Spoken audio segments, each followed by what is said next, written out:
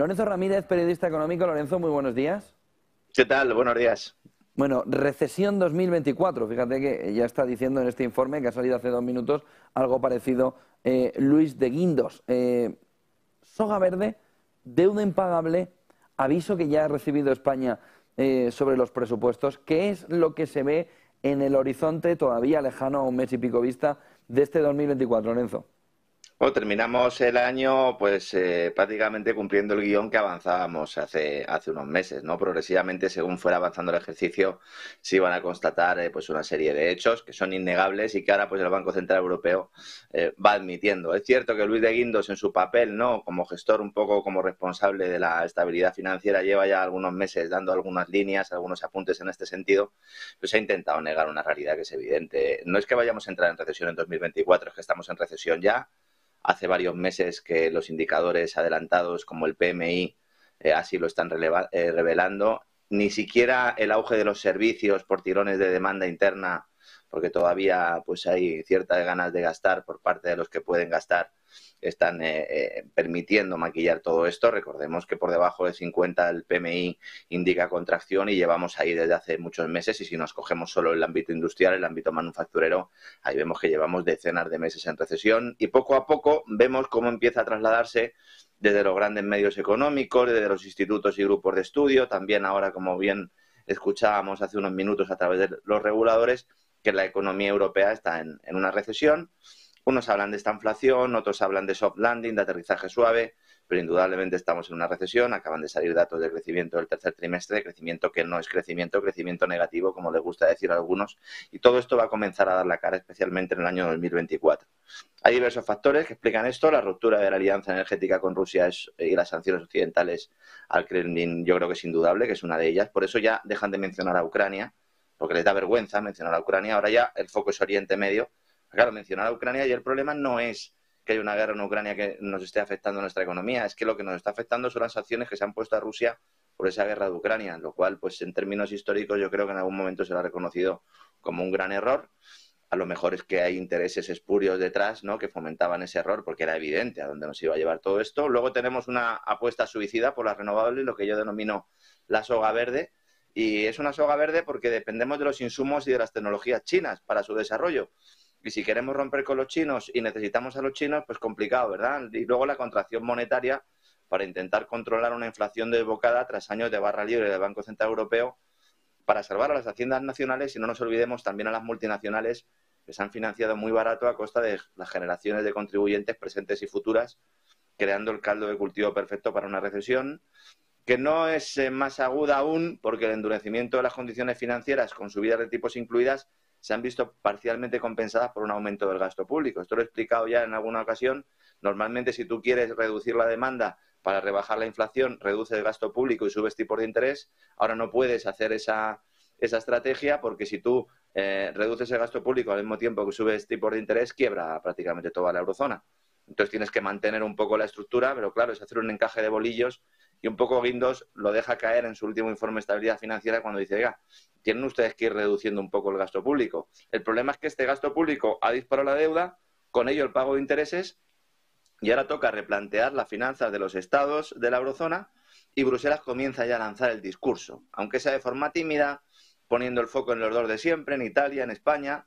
El país transalpino tiene eh, a su deuda a punto de entrar en el bono basura. España, aunque no está tan mal, debe realizar ajustes para evitar que su prima de riesgo se dispare y esto implica reducir gasto y subir impuestos. Sobre todo lo segundo, porque el nuevo gobierno ya ha dejado claro que el eje central de los nuevos presupuestos, si salen adelante los nuevos presupuestos, cuidado porque la negociación política va a ser complicada, el objetivo es aumentar carga fiscal y aunque dicen que serán los ricos los que pasen por caja, esto siempre es falso, como bien sabemos todos. Al final, las rentas bajas y medias son quienes sufren el hachazo. Y el ejemplo lo tenemos ya con el anuncio del Ministerio de Trabajo, Yolanda Díaz, que como siempre pues tiene trampa. Dice que va a subir el salario mínimo interprofesional, que va a reducir la jornada laboral, que va a encarecer el despido, que son tres variables que castigan especialmente a las pequeñas y medianas empresas, que evidentemente impactarán en la creación de empleo, pero de lo que nadie habla es del aumento de las cotizaciones sociales, es decir, del impuesto al trabajo que tienen que pagar trabajadores y, y empleadores también. Y esto se producirá en un contexto de freno del mercado laboral. El último informe de FEDEA yo creo que no deja lugar a dudas. Hay un parón claro en la creación de empleo a pesar de la propaganda gubernamental, el empleo se ha frenado. Y si nos fijamos en el dato de crecimiento español del Producto Interior Bruto del tercer trimestre, ahí lo vemos. Ha crecido tres décimas. Si aplicamos un incremento anualizado, para en lugar de mirar hacia atrás, que sería el crecimiento interanual, mirar hacia adelante, como hace, por ejemplo, Estados Unidos, a la, hora de calcular el PIB, tendríamos un crecimiento del 1,2%. Y como bien sabes, por debajo del 1,5% la economía española no es capaz de crear puestos de trabajo. Y esto el gobierno lo sabe. Y por eso ha disparado la contratación pública, para maquillarlo, por eso manipula las cifras de empleo, incluyendo a parados como si estuvieran ocupados, aumentando el subempleo. Hay más de un millón de desempleados que no aparecen en las listas y todo esto al final pues va a aflorar, evidentemente, ¿no? Tú puedes guardar comida podrida en, un armario, ¿verdad? Pero al final acaba oliendo y al final tienes que limpiar ese armario. Veremos hasta qué punto Bruselas aprieta las tuercas a España para que haga ajuste. Ya sabe José Antonio que yo soy bastante escéptico sobre esta cuestión, porque a la Unión Europea no le interesa que sea evidente el fracaso de la política económica europea y que se vea obligada a retirar unos fondos Next Gen que tienen como principal objetivo minar las soberanías nacionales, sentar las bases de unos Estados Unidos de Europa basados en la deudocracia y el servilismo también hacia intereses extranjeros. Pero es indudable que cuando se vuelvan a implantar las reglas fiscales en la eurozona habrá que hacer ajustes. Y fíjate, incluso Alemania está preocupada. El Tribunal Constitucional le acaba de tumbar un intento al canciller Olaf Scholz de saltarse sus propias reglas para intentar dirigir dinero destinado a la lucha contra el COVID y el cambio climático para rescatar empresas y para reducir la factura energética de los hogares. Así que vamos a ver una pelea importante con una diferencia notable respecto a anteriores crisis. Antes Alemania podía sacar la cabeza y exigirnos a los demás ajustes. El problema es que Alemania tiene una crisis de caballo, fundamentalmente por su destrucción industrial, derivada en buena medida por esa ruptura de la alianza energética con Rusia, y veremos hasta qué punto puede exigirnos a los demás ajustes que ellos, eh, pues no está tan claro que vayan a hacer, ¿no? Yo creo que ahí va a estar un poco la pelea, pero que la recesión en 2024 existirá ya con dos trimestres consecutivos de caída del PIB, yo creo que eso es indudable. Eh, ¿Cuál es la verdad del salvamento, Lorenzo, de Siemens? Eh, ¿Qué es lo que de verdad está sucediendo detrás de ese salvamento de Siemens? Bueno, esto es un, esto es un escándalo absoluto y, bueno, a mí la verdad es que me da pena que, no haya análisis eh, medianamente independientes cuando un Estado extranjero utiliza el dinero de los contribuyentes de un tercer país para rescatar una empresa propia, además mintiendo y faltando a la verdad de forma flagrante. ¿no? El rescate de Siemens Energy es una muestra más de cómo las alianzas internacionales que mantiene el gobierno de España van contra los intereses de sus propios ciudadanos y encima, pues como digo, se falta la verdad para ocultar la cesión, en este caso, a los intereses de la industria alemana. Hace unas semanas, la multinacional germana pidió un rescate público porque no era capaz de hacer frente a sus obligaciones financieras, creadas en base a otra gran mentira. Hay una gran mentira que yo entiendo que es difícil de asumir para muchos, pero hay que decirla. Europa no es capaz de producir aerogeneradores a una mejor calidad y a un mejor precio que sus competidoras chinas. Y paneles fotovoltaicos tampoco. El mismo caso es el de los paneles fotovoltaicos. Porque las empresas del gigante asiático no solo tienen menores costes por cuestiones laborales, evidentemente, sino porque disponen de la materia prima necesaria para esta industria. De hecho, se podría decir que sin la tecnología y los insumos chinos no se habían producido las economías de escala que han permitido implantar muchas renovables en Europa y avanzar en esa famosa transición energética europea. Esto es una verdad incómoda, nadie quiere mencionarlo. Lo normal, ¿qué sería? Que si los países europeos quieren ir a un mix energético renovable de verdad, pues que lleguen a un acuerdo comercial con los chinos, porque son los que tienen esa tecnología y porque son los que tienen la materia prima. Claro, esto generaría un problema en Estados Unidos, en el seno de la OTAN y en este nuevo muro, ¿verdad? 2.0, el nuevo telón de acero que tenemos en nuestros días. Y en lugar de tejer esa alianza, se decide por su cuenta y riesgo. Lo cual, ¿qué ha hecho? Provocar una burbuja de industria renovable en el viejo continente que hace necesarios ahora rescates públicos. Y se están pidiendo a la Comisión Europea. Los ciudadanos vamos a pagar la energía tres veces. Al consumirla, con los impuestos presentes derivados de su consumo y con los impuestos futuros derivados de la deuda que será necesario emitir para salvar a las compañías, a las grandes compañías. Cuando Siemens pide al gobierno alemán el rescate, el Ejecutivo alemán ofrece la mitad. Dice, nosotros ponemos 7.500 millones, pero que España ponga otros 3.000 o 3.500 millones porque Siemens compró la española Gamesa a la que culpan ahora el desastre corporativo. Fíjate aquí el, riesgo moral, una vez más. Bueno, pues si has comprado Gamesa ya ha fracasado Gamesa porque ha tenido problemas tecnológicos, porque tiene problemas financieros, no, pues allá tú te apañes, ¿no? Pues coges y es un error que has tomado como empresa y tendrás que recibir tu castigo corporativo. Pero entonces Sánchez, después de la reunión con Sol, esa de, Málaga, de la que hablamos el otro día, ¿verdad? De la que, la que se comentaron muchas cosas, decide acudir al rescate argumentando que así se van a salvar los empleos de Gamesa en España. pero en realidad estos empleos le importan poco, porque el objetivo es que Alemania le ayude en las negociaciones europeas, pero no como gobierno solo. Esto incluso podría ser entendible, sino en materia personal, votando a favor de la candidatura de Nadia Calviño para presidir el Banco Europeo de Inversiones, posicionando al propio Sánchez para que en el futuro pueda optar a un cargo internacional. Y la prueba de todo esto la dio ayer precisamente la propia Siemens Energy, hizo una presentación pública y no garantizó el mantenimiento de los puestos de trabajo en España, a pesar de los citados 3.000 millones de euros que avala el Tesoro y que van a ser concedidos por los grandes bancos españoles. Mira, voy a hacer una cuenta muy sencilla para que la gente se dé cuenta del, nivel de la estafa, ¿no? Si en España Gamesa tiene 4.600 trabajadores y nueve fábricas, ¿no? además de la sede social de Zamudio, si tenemos 3.000 millones de euros entre 4.600 trabajadores, nos salen a más de 650.000 euros por cabeza. No porque se lo ordenen los empleados y que cierren la empresa. Alguno dirá, ¿pero a dónde vas? Esto es una barbaridad. ¿Cómo puedes plantear la cuestión en estos términos? Lo ideal sería mantener la actividad, pero es que ni siquiera la directiva de Gamesa confía en el futuro de la empresa. Es que su consejero delegado el pasado septiembre dijo, está todo el sector en números rojos, más del 50% de las turbinas del mundo se instalan en China, ellos tienen ventajas de economía y escala sobre los europeos y nuestro sector es inviable. Entonces, o se cierran las empresas, o se cierra un acuerdo con China, o se mantienen con respiración asistida a pesar de ser anticompetitivas. ¿Qué es lo que parece que se ha elegido? De hecho, acabamos de saber que la Comisión Europea acaba de aprobar el plan energético de Polonia, el Repower EU, que contempla la instalación de aerogeneradores en el Báltico, de los cuales 350 megavatios, por un importe de 5.100 millones de euros, van a ser fabricados, ¿sabes por quién? Por Siemens. ¿Porque van a ser mejores y más baratos? No. Justo lo contrario. No son mejores y además son más caros que los chinos. Pero así se garantiza mercado, se garantiza una supuesta soberanía energética europea, que es una gran entelequia, un enorme fraude, porque además de ser insostenible, evidentemente subvencionar industrias que no pueden competir es una estrategia condenada al fracaso, pero cuando llegue ese fracaso, ¿a quién se va a culpar? Culparemos a los chinos, culparemos a los rusos, culparemos a los árabes, pero no nos miraremos nuestro ombligo, y es que nosotros somos responsables de ahorcarnos con esta soga verde. Veremos, José Antonio, porque las mentiras tienen las patas muy cortas y vamos a ir viendo progresivamente cómo se producen muchos rescates de este tipo, lamentablemente, claro.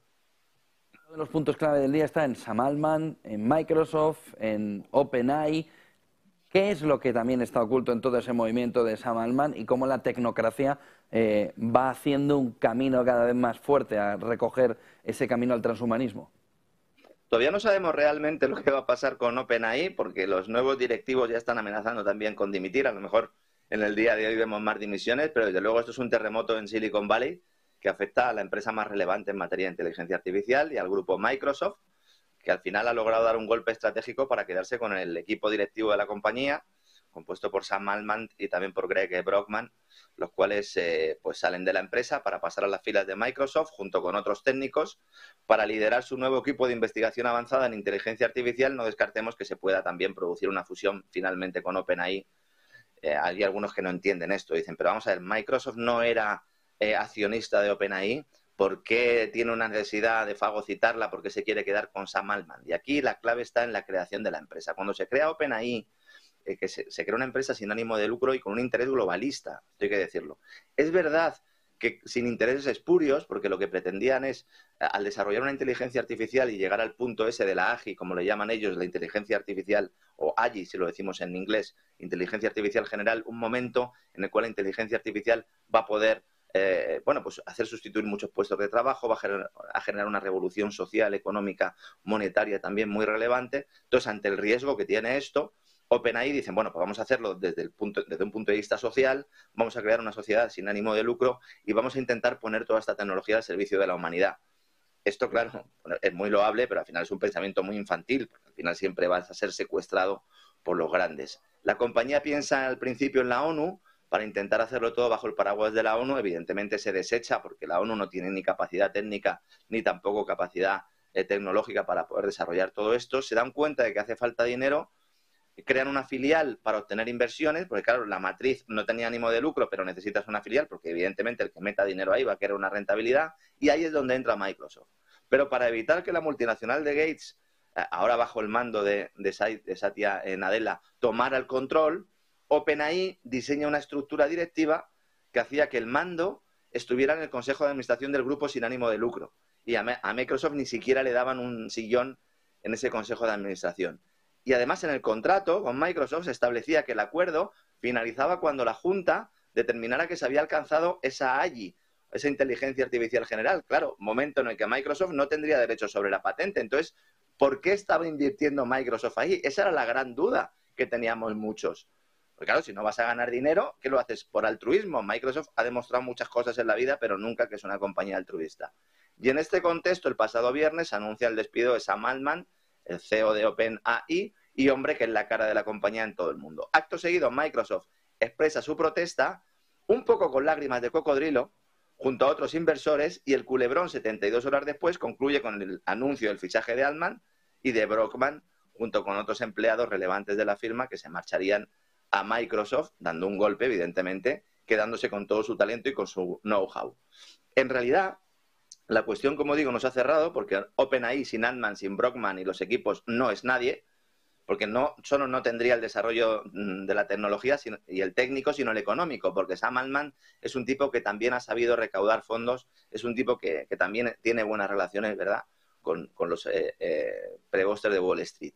Por lo que no descartemos que al final se pueda producir una fusión que termine con esos muros de contención en el plano corporativo que ataban las manos de Microsoft, que al fin y al postre pues, eh, ha pasado en tres días de ser el gran perdedor al mayor ganador. Algunos piensan que esto estaba orquestado, yo no voy a ir tan lejos, pero bueno, indicios hay. ¿Cuál es la clave de todo esto? La clave de esto es que la capacidad de esta tecnología para, para afectar a la estructura productiva global, a los procesos políticos, es enorme. Y esto no lo digo yo, esto lo dice el propio Sam Altman, que en una intervención que realizó en el Senado de Estados Unidos pidió a los legisladores que regularan y pusieran coto a su propio invento de una manera similar a como pasó con la bomba nuclear, ¿verdad? Y de porque es que, oiga, además de presentar beneficios notables para el desarrollo económico y social, tiene importantes riesgos, entre ellos, provocar un desempleo masivo, destruir estructuras sociales, entre las cuales citan el dinero, y acabar con la democracia.